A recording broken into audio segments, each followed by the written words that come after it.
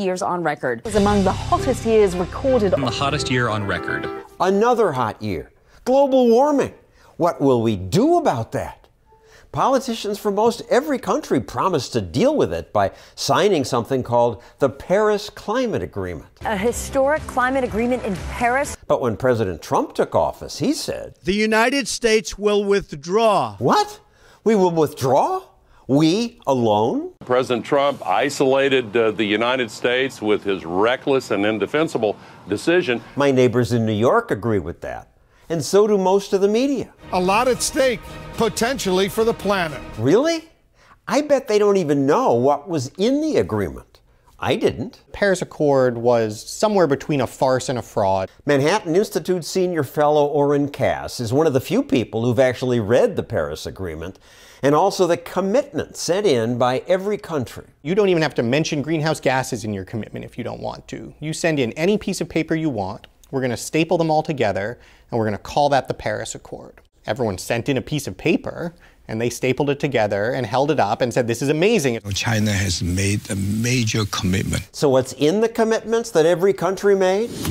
India has ratified the Paris Climate Accord, committing the world's fastest growing economy to limit carbon dioxide emissions. What you find is they either pledge to do exactly what they were already going to do anyway, uh, or pledged even less than that. China, for instance, said we pledge to reach peak emissions by about 2030. Well, the United States government had already done a study to guess when Chinese emissions would peak, and their guess was about 2030. Peak doesn't mean stop, it just means stop increasing. That's right. So, in fact, China promised they will continue increasing their emissions for, for some time to come. And yet, China was actually one of the better pledges.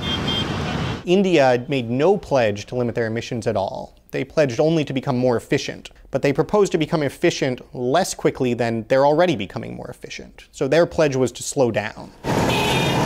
Know, my favorite was Pakistan, whose pledge was to reach a peak at some point after which to begin reducing emissions. And so you can staple those together and you can say we now have a global agreement, but what you have is an agreement to do nothing. And if anything, you've gone backwards because whereas in the past you could have criticized countries and said, hey, why aren't you doing anything?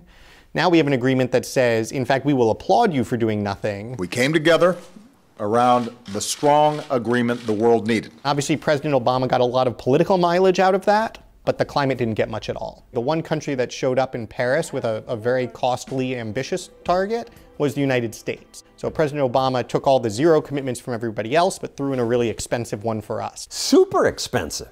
Obama pledged to reduce American emissions by a quarter.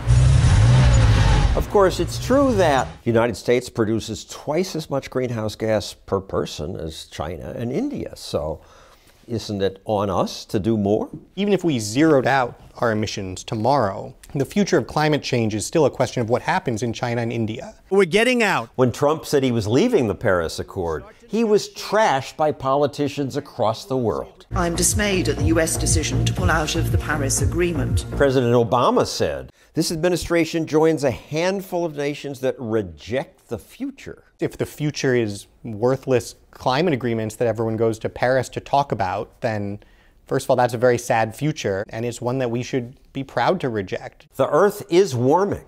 Man may well be increasing that. But the solution isn't to waste billions by forcing emissions cuts here while other countries do nothing, while pretending to make cuts. Trump was right to repudiate this phony treaty. Most of us didn't even know how phony it was. But now we do.